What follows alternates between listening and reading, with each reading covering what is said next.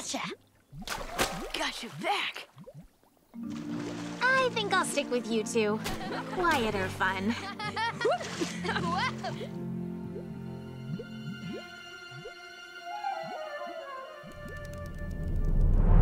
Kion and his sister? At the edge of the Pride Lands. And they're surrounded by dry plants and grass. One spark is all it would take to send the whole place up in flames. And half the royal family with it.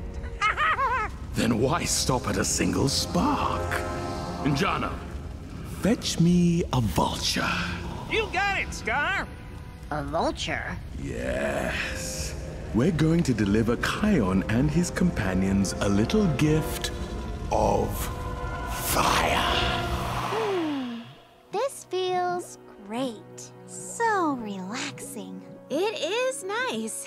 Yeah, it really is. Sure you don't want to try this, Kion? It's unbelievable. Did you hear that? Nope, I don't hear anything. I think we should go. But we can't leave until the mud masks dry properly. Spa rule. Spa rule, Kion. Nothing we can do.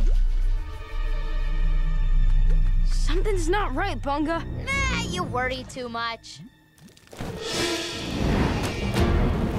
Fire!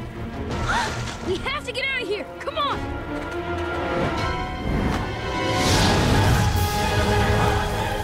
Move away! Get back! Hurry! What do we do? We're surrounded. Bunga, fire break! Got it! Kiara, Tiifu, Zuri, take cover in the mud. No way. I'm helping you with the fire break. Okay, but Tiifu and Zuri, the mud pots. Let's go!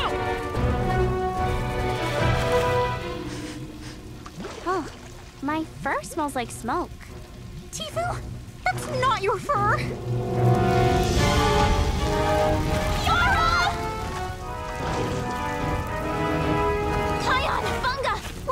Late. Embers have already jumped the fire break. Muhangus's burrow! Quick! Everyone into the aardvark